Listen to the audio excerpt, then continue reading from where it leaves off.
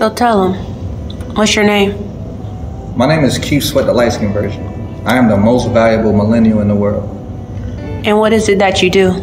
I do a few things. I do mentorship, I do Forex, I educate people on how to trade like the doctors, right? P- The doctors get paid by having patience.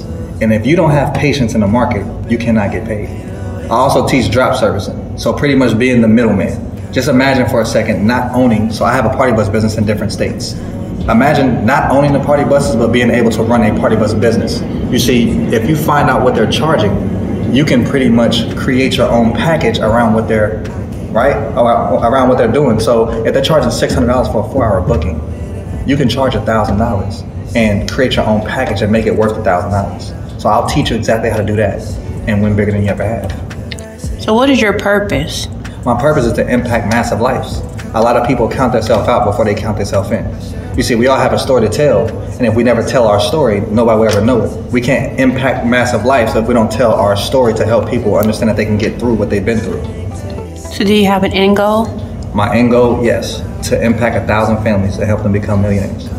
Most people don't see that they can have a better future because of the life that they have going on in front of them. So if I can help them shift their mindset to understand that they can rather than they can't, I did my job. Light skin Nice. version. Thank you. Hey now.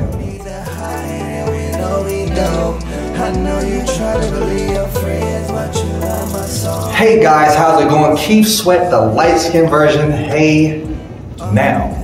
I am at Freedom Fest 2021. Go ahead right now, real quick. FreedomFest2021.com. I want you to go there and get registered. Listen here.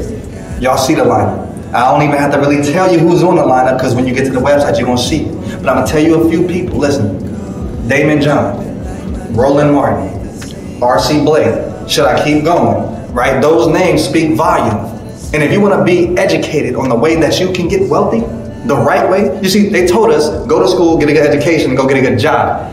A lot of us did that, but that did not work. A lot of us went to school, got a good education, and got a job and still struggling. Like you're getting 100% of your income right now.